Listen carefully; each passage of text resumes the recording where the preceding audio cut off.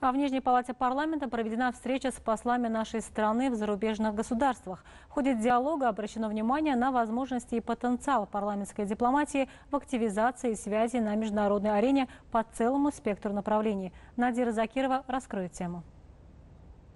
Новые задачи на перспективу были поставлены в области реализации внешней политики на 2021 год. В частности, усовершенствуют ее концепцию с учетом проводимого открытого, прагматичного и конструктивного диалога, в котором будут очерчены и долгосрочные стратегические цели. Об этом говорилось в послании главы государства парламенту и народу Узбекистана. На встрече в законодательной палате, дискутируя на тему, депутаты подчеркнули, что важнейший аспект укрепления многовековой дружбы, отношений добрососедства, эффективного сотрудничества сотрудничества и взаимного доверия с государствами Центральной Азии, а также расширение многопланового взаимодействия с основными партнерами страны – Россия, Китай, США, страны ЕС, Южная Корея, Япония и другие. В этой связи в деятельность послов за рубежом внедрена более эффективная система работы, в центре которой торгово-экономическое сотрудничество, привлечение иностранных инвестиций, современных технологий и расширение экспорта и туристических связей. Согласно поручению главы государства, 38 глав дипломатических представительств Узбекистана Казахстана за рубежом посещают регионы с целью ознакомления с потенциалом и возможностями, изучения перспектив дальнейшего расширения международного взаимодействия. Значительно повысилась и эффективность работы законодательной палаты в международном направлении. Расширилась география. В кратчайшие сроки налажены крепкие связи со многими авторитетными международными межпарламентскими организациями. Обновлено членство в парламентской ассамблее Межпарламентского союза и в ОБСЕ. Вместе с тем Узбекистан впервые стал членом Межпарламентской ассамблеи СНГ. Кроме того, совместным решением Кенгяши и Палат Оли Маджлиса в сентябре прошлого года утверждена концепция парламентской дипломатии, в которой определены стратегические цели и задачи, приоритетные направления, принципы и механизмы осуществления деятельности Оли Маджлиса в сфере международного сотрудничества. Расширяется создание соответствующих групп двустороннего межпарламентского взаимодействия. На данный момент их количество достигло 48. В рамках нынешней встречи отмечены и заслуги послов. Дипломаты поделились своей точкой зрения касательно использования возможностей и потенциала потенциала национального парламента в области развития дальнейшего партнерства с зарубежными государствами, укрепления контактов в законотворческой, торгово-экономической, инвестиционной и культурно-гуманитарной сферах.